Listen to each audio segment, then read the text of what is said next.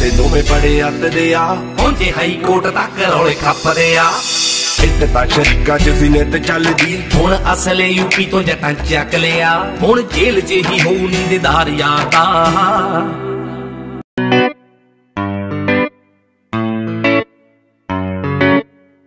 ਚਿਹਰਾ ਮਾਸੂਮ ਜਿਹਾ ਨਹੀਂ ਤੇਰੇ।